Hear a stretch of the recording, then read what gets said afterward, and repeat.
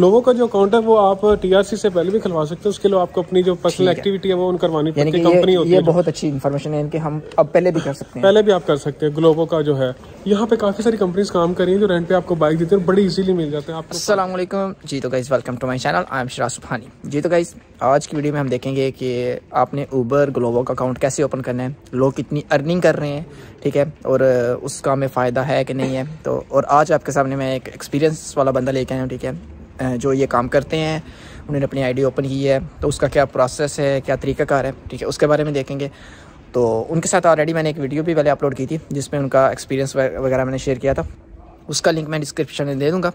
तो जी तो कहीं आज की वीडियो स्टार्ट करते हैं। जी तो इस वीडियो स्टार्ट करने से पहले अगर आप मेरे चैनल पर न्यू आए तो चैनल को सब्सक्राइब कर लें, ताकि हर आने वाली इन्फॉर्मेटिव वीडियो आप तक पहुँच सके। जी तो गाइस आज की वीडियो स्टार्ट करते हैं।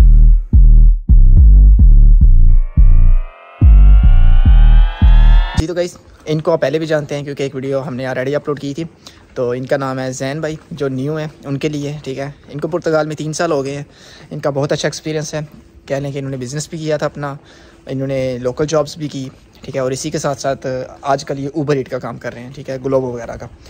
जी तो जैन भाई वेलकम टू माई चैनल बहुत शुक्रिया आपने इतना टाइम दिया हमें ठीक है? तो आप क्या कहना चाहेंगे कि लोग कितना कमा लेते हैं ओवर ईट में और क्या सीन होता है? थोड़ी सी स्टोरी आप शॉर्ट सी शेयर करें फिर उसके बाद हमें आप बता देना कि अकाउंट कैसे ओपन होता है कितना टाइम लगता है और लोग आजकल कितना कमा रहे हैं और काम करने का बेस्ट टाइम कौन सा है? दिन का टाइम सही है रात का टाइम सही है ठीक है? तो ये जनरल थोड़ी सी डिस्कशन है तो आप इसके बारे में थोड़ा सा बता दें। जी सबसे पहले ये है कि जो मैं बेसिकली कर रहा हूँ ग्लोबो का ना ऊपर का मैंने तकरीबन थोड़ी देर ही। किया है। तो जो ग्लोबो का है ग्लोबो में ऐसा है कि आपको जो है तकरीबन जो घंटे हैं वो सिलेक्ट करने पड़ते हैं ना।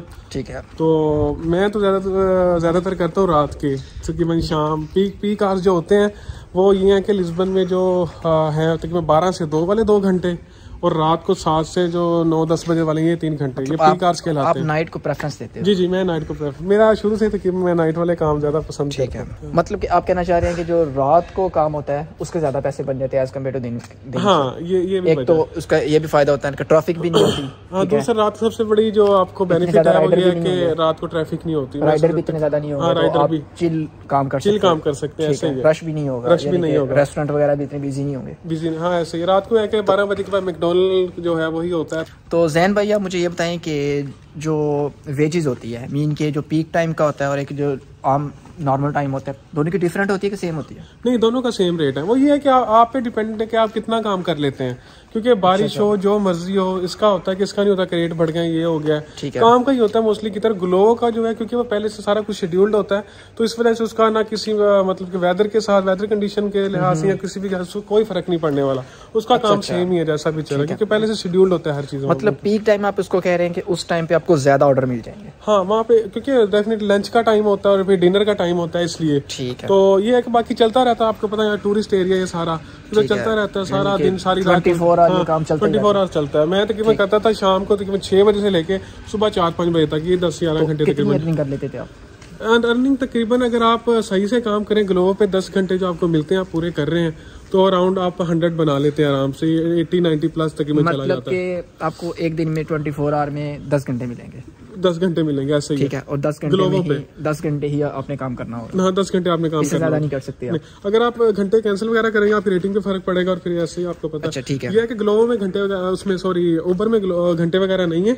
उस पर आपको जितना मर्ज़ी आप काम कर सकते हैं आपने लेकिन उसका काम मुझे थोड़ा सा जो है वो स्लो लगा है ग्लोबो की नस्बत। तो इस वजह से मैं ग्लोबो को जो है ना ज़्यादा तो आप ये लिस्बन की बात कर रहे हैं। लिस्बन की बात कर रहा हूँ। तो जी तो आपको एक चीज़ क्लियर होगी होगी कि ग्लोबो दस घंटे ही देती है इससे ज़्यादा नहीं देती। आप ये नहीं कर सकते कि आप ट्वेंटी फोर आवर काम करते रहो लेकिन ऊबर में हम कर सकते हैं ऐसे ट्वेंटी फोर आवर हाँ ऊबर में आप कर सकते हाँ, हैं। तो ऊबर में हम ये काम कर सकते हैं कि हम ट्वेंटी फोर आवर काम करते हैं ठीक है? वो हमारे पे डिपेंड करता है। लेकिन कह रहे हैं कि ऊबर का काम थोड़ा सा स्लो होता है। ये मेरा पर्सनल एक्सपीरियंस है। मैं सबका नहीं हाँ, मैंने मैंने भी ये सुना था ठीक है जो हाँ। मेरे साथ और भी बंदे काम करते थे कहते हैं कि ऊबर में थोड़ा सा कह लें कि स्लो है स्लो है थोड़ा स्लो है पैसे कम बनते हैं ग्लोबो में कह लें कि अगर आप दस घंटे काम करते हैं तो दस घंटे भी बहुत ज़्यादा होते हैं। इतना ईजी नहीं होता, लेकिन ये है कि आप जो आपकी एवरेज होती है एट्टी नाइन्टी की एवरेज आपकी होती है, ठीक है? जैसे आप काम करते जाएँगे ऑर्डर मिलते जाएँगे रेटिंग अच्छी होती जाएगी।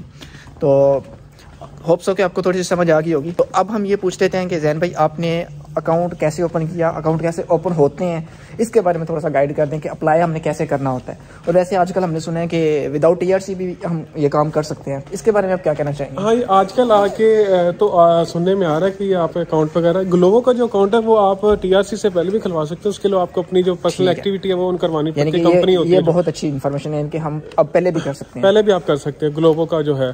उबर नहीं उस पे जो है आपकी आईडी वगैरह बनाता है उबर आप टीआरसी मिलने के बाद ही कर सकते हैं। फाइनेंस नंबर पे हम ग्लोबल का अकाउंट ओपन कर सकते हैं। हाँ फिनांस उसका क्या तरीका कर होता है थोड़ा सा बता पहले आपको एक्टिविटी खुलवानी पड़ती है उसको कोई कोड होता है तो फाइनेंस नंबर फाइनेंस ऑफ़िस जाकर हाँ फाइनेंस ऑफ़िस ठीक है। आपकी जो छोटी सी कंपनी खुलती है एक्टिविटी मतलब ठीक है। सेल्फ सेल्फ बिज़नेस जैसे self कहते ठीक है। वो उनका ही काम है वो उन्होंने करना था। बस हमने जाके बताना है हाँ आपने बताना कि एक्टिविटी खुलवानी है एक्टिविटी ओपन उसका मैंने सुना एक और भी फ़ायदा होता है कि पहले साल का टैक्स भी हमें नहीं पे करना पड़ता। कुछ हाँ ऐसा वो तकरीबन आपको ना एक साल या डेढ़ साल की छूट देते हैं। टेन परसेंट जो सगोरों से शाल आपको देना पड़ता है ना ठीक है। वो छूट देते हैं क्योंकि आपको ओवरऑल थर्टी थ्री परसेंट देना पड़ता है। जो ट्वेंटी थ्री परसेंट आपका ईवा जाता है तो और जो इलेवन परसेंट है वो सगोरों वाले लेते हैं टैक्स वाले सोशल वाले सोशल वाले जो लेते हैं। ठीक है। तो वो जो इलेवन परसेंट आपको सिर्फ़ उसकी छूट मिलती है डेढ़ साल में। ठीक है। साल या डेढ़ साल जितना भी अरसा है। ठीक है। हाँ। तो बाकी मतलब बाकी देना पड़ेगा हमें। हाँ बाकी आपको देना ट्वेंटी थ्री परसेंट देना लेकिन फिर भी जो होता है। टैक्स वगैरह दे के सब कुछ करने के बाद फिर भी आप क्या कहते हो कितना बच जाता है? यार फिर भी अगर बंदा सही तरह काम करे ग्लोबो पे अगर आप टका के छः छः सात दिन एक क्योंकि छुट्टी ज़रूरी होती है। ठीक है रेस्ट करने के लिए हाँ, है। के लिए। लेकिन छः दिन काम कर लो। हाँ। मैं कह लूँगा आठ से दस घंटे काम कर लो। आठ से दस घंटे आप काम कर रहे हैं छः दिन आप काम कर रहे हैं। ठीक है। तो आप सिक्सटीन सेवनटीन हंड्रेड प्लस सारे मतलब अपने टैक्सेस वगैरह दे के बाइक का सारा खर्चा वगैरह निकाल के कितना आप बचा ले। Fifteen hundred sixteen hundred plus आप चले जाते हैं। रन साहब मुझे एक और बात पुर्तगाल में ये बहुत अच्छा ये है मतलब आपकी इनकम अगर देखें ठीक है। जैन भाई मुझे एक और बात याद आ गई है कि अगर किसी के पास कोई बाइक ही नहीं है तो वो क्या करे? तो यहाँ पे काफ़ी सारी कंपनीज़ काम कर रही हैं जो रेंट पे आपको बाइक देते हैं बड़ी इजीली मिल जाते हैं। आपको पाकिस्तान या इंडिया बांग्लादेश जहाँ से भी आपको वहीं के लाइसेंस पे आपको वो बड़ी आसानी से देते हैं। आप चाहें तकरीबन आपको आधे घंटे में सारा प्रोसेस करके आपको दे पुर्तगाल का लाइसेंस भी नहीं चाहिए। नहीं पुर्तगाल का लाइसेंस भी नहीं। आपका लोकल जो जहाँ से भी आप बांग्लादेश इंडिया पाकिस्तान जहाँ से भी हैं आपको उसी लाइसेंस पे बाइक दे देते हैं। कोई मसला नहीं है। ठीक है मतलब कि आप जाओ बाइक पकड़ो किसी यानी कि रेंट पे बाइक पकड़ो।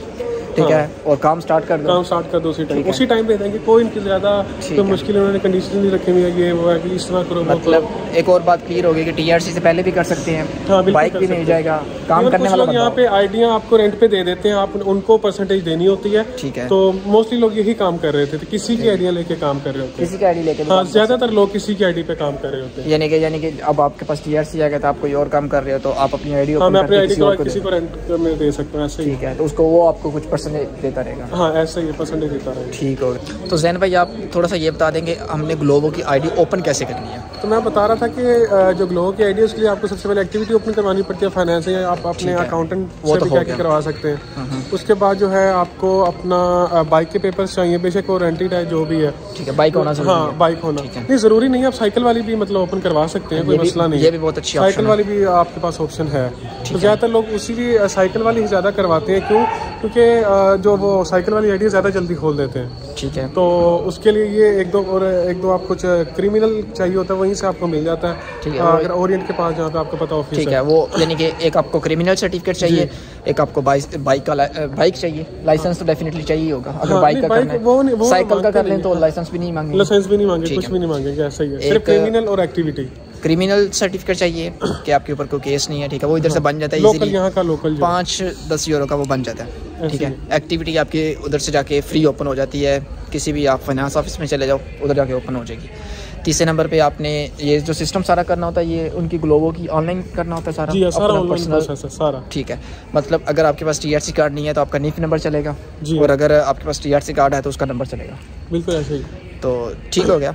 तो होप्स हो के सारे क्वेश्चन क्लियर हो गए हैं कि आप कितनी अर्निंग कर सकते हैं आईडी कैसे ओपन करनी है और फिर भी अगर किसी किस्म का आपका कोई क्वेश्चन है तो जैन भाई का इंस्टाग्राम मैं नीचे मैंशन कर दूँगा डिस्क्रिप्शन में। तो आप उधर से भी देख सकते हैं। मेरा भी इंस्टाग्राम डेफिनेटली हर वीडियो में ही होता है तो आप उधर से भी चेक कर सकते हैं। होप्स हो के सारे क्वेश्चन क्लियर हो गए हैं। तो अगर फिर भी आपका किसी किस्म का कोई भी और क्वेश्चन है तो आप कमेंट बॉक्स में कमेंट करते हैं। जैन भाई के इंस्टाग्राम पे मैसेज करते हैं, मेरे इंस्टाग्राम पे मैसेज करते हैं। तो एज सुन एज पॉसिबल मैं भी आपको रिप्लाई कर दूँगा। अगर आपको ऊबर ग्लोबल के बारे में कोई भी क्वेश्चन है तो आप इनसे भी डायरेक्ट कॉन्टैक्ट कर सकते हैं। जी तो कैसे मिलते हैं नेक्स्ट वीडियो में। तब तक के लिए इजाज़त दीजिए। वीडियो अच्छी लगी हो तो लाइक और शेयर ज़रूर करें। और हाँ चैनल को लाजमी सब्सक्राइब कर लें ताकि हर इन्फॉर्मेटिव वीडियो अब तक ज़रूर पहुँच सके। जी तो जैन भाई बहुत बहुत शुक्रिया आपने. इतनी इन्फॉर्मेशन दी हमें। तो अगर कोई बंदा आपसे कांटेक्ट करेगा तो जी काइंडली उसको गाइड कर देना। रिप्लाई कर देंगे ठीक है।